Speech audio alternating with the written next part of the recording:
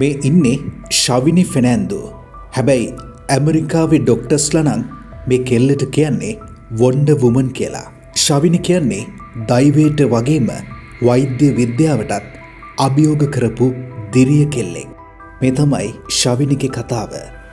ශවිනි මුලින්ම අසනීප වෙන්නේ විල්පත්වේදී. නුවර ප්‍රධාන වෛද්‍යවරයෙක් ශවිනිව පරීක්ෂා කරන්න පටන් ගන්නවා.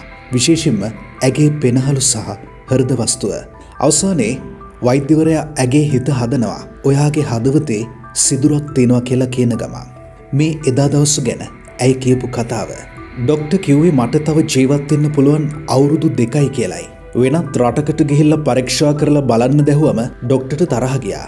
ඔහු කිව්වේ කොහේ කියත් මගේ තත්ත්වය වෙනස් වෙන්නේ නෑ කියලා මට දුක හිතුණා. තරහකුත්තාවා.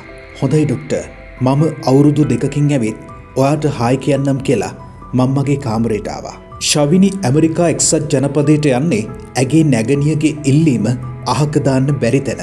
එහෙම ගිය ඇය ඇමරිකාවේ ප්‍රධාන රෝහලක පරීක්ෂණ කිහිපයකටත් මුහුණ දෙනවා. ඇය ගුවන්්‍යානයේ ගමන් කරෙත් ඔක්සිජන් ළඟතියාගෙන.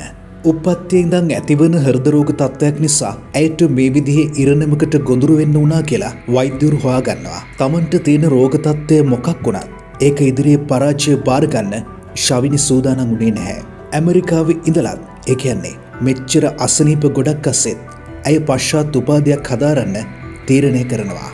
විශ්වාස කරන්න ඇය විශ්වවිද්‍යාලයට ගේත් ඔක්සිජන් ටැංකයක් ළඟතියාගෙන ඇටම් වෙලාවට ඔක්සිජන් මට්ටම අඩුනාම ඇගේ මූුණ නිල්පාට වෙනවා. ඇගේ මිතුරන් වෙලාවකට බයවෙනවලු ඇයව දැකලා. කොහොමුණත් අවසානයේදී ශවිනි තමන්ගේ හර්දවස්තුවට ඔක්සිජන් අඩුවෙනකොට ඒක තමන්ටම දැනකයාගන්න පොළොවන් විදිේ උපකරණයක් හදනවා. ඇය එක පේටන් බලපත්‍රයක් තිමිකරගන්නවා. මේ උපකරණය හදපු හැටි ගැන ඒ අදහස් ආපු විදිහ ගැන. ශවිනි BBC සිංහල වෙබ්බඩවේට මේ විදිහට කියල තිබුණා. මං මේ ගැන මගේ ඩොක්ටට විහිලුවට වගේ කිව්වා. ඒක වෙන කෙනෙක් නිර්මාණය කිරීමට පෙර එය කරන ලෙස ඔහු මට උපදෙස් දුන්නා. මම මෘදුකාංග ඉංචිනේරුවෙක් නිසා මට මේක නිර්මාණය කරන එක බොහොම පහසු කටයුත්තක් වුණා. දෙදහස් දහට වසර අවසන් වෙන්න කලින් ඒ උපකරණය ආදර්ශකයක් නිර්මාණය කරන්න මට හැකියාව ලැබුණා. යම් අවස්ථාවක මගේ ඔක්සිජන් ප්‍රමාණය අඩුවෙලා හදවතේ ක්‍රියාකාරිත්වය නැවතුනොත් මගේ ජංගම දුරකථනය හරහා නමයයි එකයි එකට පණිවිඩයක් යනවා. මේ තමයි ඇය තමන්ගේ උපකරණය ගැන කිව්ව කතාව.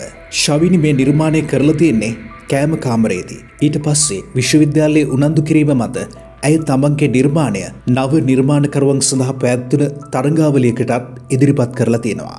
ඒ තරන්ගේ ජයග්‍රහණයත් සමඟ ඇයට ඩොල තිස්පන්දහසක මුදල් තෑග්ගකුත් හම්බ වෙලා තියෙනවා.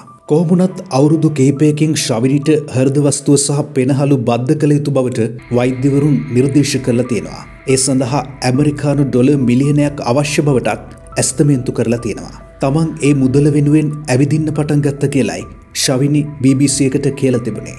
ඇය අවසන් වතාවට කියල තිබුණේ. මම තව අවුරුදු කිහිපයක් කොහොම හරි අල්ලගෙන ඉන්නවා කියලයි.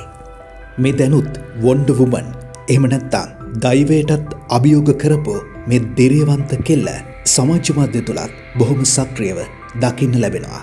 ඇය ඉස්සරහා මරණයත් පරාජිතයි.